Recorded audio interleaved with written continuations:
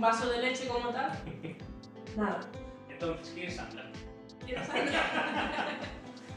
pues no lo sé ni qué sé. Somos una unidad familiar Ah. eh, que nos vamos construyendo poquito a poco, nos vamos descubriendo, vamos aprendiendo a convivir juntos. Eh, el proyecto de milímetros eh, se inició desde el momento en el que Chloe nació. Soy de Carabanchel. Pintar siempre me ha gustado. Yo me planteé con 15 años y le dije a mi madre que quería hacer un tatuaje, que me tenía que firmar una autorización y, y que me diese dinero y que me iba a hacer un tatuaje. Yo pienso que cada tatuaje tiene su propia historia. Cada cliente es igual de especial, sea pequeño o sea grande.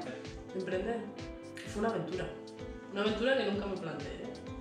Eh, nos encontrábamos con una mano delante y otra detrás, con cuatro ahorros, con una niña de un mes, recién nacida, y, y con un cambio de, bueno, brutal, de venir de Madrid a Galicia, con un proyecto de abrir un estudio, de, de, crear pues, nuestra manera de sostenernos y, y de hacer lo que realmente nos gustaba.